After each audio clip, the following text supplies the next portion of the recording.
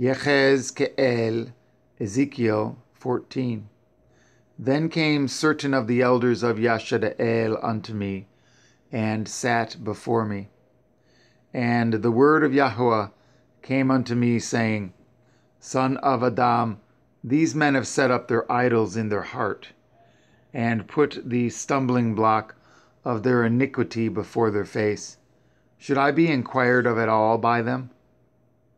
Therefore speak unto them, and say unto them, Thus says Adonai Yahweh, Every man of the house of Yashadael that sets up at his idols in his heart, and puts the stumbling block of his iniquity before his face,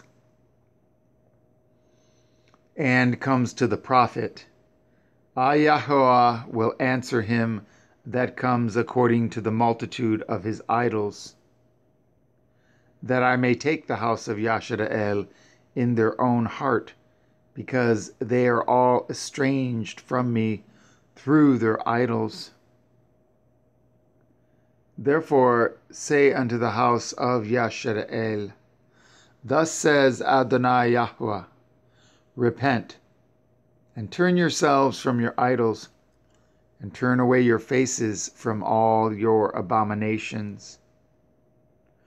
For every one of the house of Yashadael, or of the stranger that sojourns in Yashadael, which separates himself from me, and sets up his idols in his heart, and puts the stumbling block of his iniquity before his face, and comes to a prophet to inquire of him concerning me.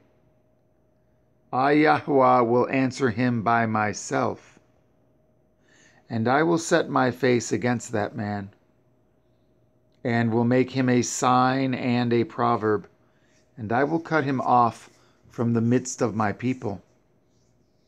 And ye shall know that I am Yahweh. And if the prophet be deceived when he has spoken a thing, I, Yahweh, have deceived at that prophet, and I will stretch out at my hand upon him, and will destroy him from the midst of my people, Yashadael. And they shall bear the punishment of their iniquity. The punishment of the prophet shall be even as the punishment of him that seeks unto him. That the house of Yashadael may go no more astray from me neither be polluted any more with all their transgressions, but that they may be my people, and I may be their Elohim, says Adonai Yahweh. The word of Yahweh came again to me, saying, Son of Adam, when the land sins against me by trespassing grievously, then will I stretch out my hand upon it and will break the staff of the bread thereof, and will send famine upon it, and will cut off man and beast from it.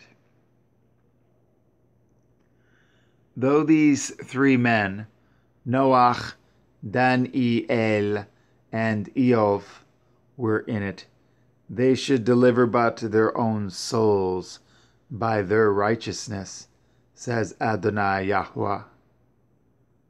If I cause noisome beasts to pass through the land, and they spoil it, so that it be desolate, that no man may pass through because of the beasts. Though these three men were in it, as I live, says Adonai Yahweh, they shall deliver neither sons nor daughters. They only shall be delivered. But the land shall be desolate or if I bring a sword upon that land and say, Sword, go through the land, so that I cut off man and beast from it. Though these three men were in it, as I live, says Adonai Yahweh, they shall deliver neither sons nor daughters, but they only shall be delivered themselves. Or if I send a pestilence into that land, and pour out my fury upon it in blood, to cut off from it man and beast. though Noach, Daniel, and Eov were in it. As I live, says Adonai Yahuwah, they shall deliver neither son nor daughter. They shall but deliver their own souls by their righteousness. For thus says Adonai Yahuwah, How much more when I send my four sore judgments upon Jerusalem, the sword, and the famine, and the noisome beast, and the pestilence, to, off, to cut off from it man and beast. Yet behold, therein shall be left a remnant that shall be brought forth, both sons and daughters. Behold, they shall come forth unto you, and ye shall see at their way and at their doings, and ye shall be comforted concerning the evil that I have brought upon Jerusalem, eth even concerning all that I have brought upon it. And they shall comfort you when ye see eth their ways and eth their doings.